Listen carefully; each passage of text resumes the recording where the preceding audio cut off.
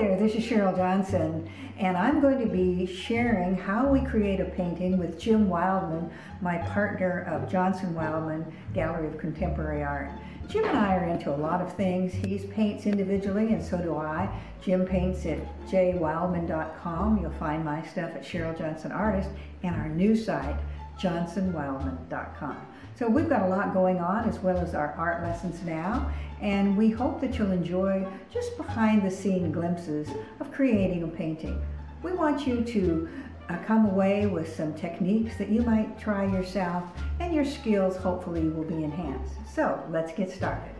Starting a painting can be fun. We can simply pour paint on a canvas or sometimes it'll even drip from a surface above and serendipity will happen.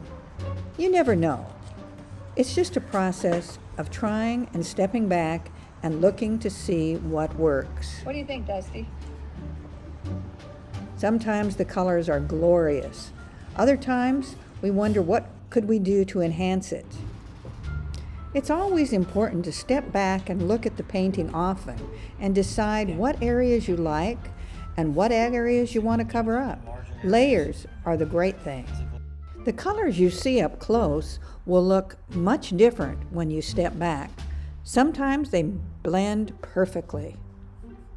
Often you'll see amazing things when two different colors are next to each other or collide. We have found wonderful things can happen when you pour paints together.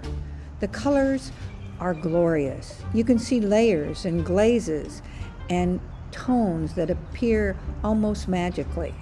You can make them happen, or sometimes they happen serendipitously. In this painting, we used several techniques of pouring paint, and we found that it was exciting.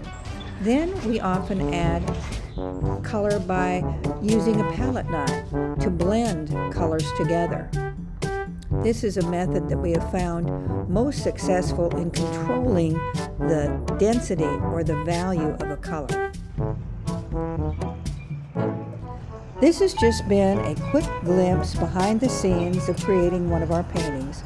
We hope you come and visit us at johnsonwildman.com and see all of our work. So please subscribe and hit the like button, and we look forward to sharing more paintings with you soon.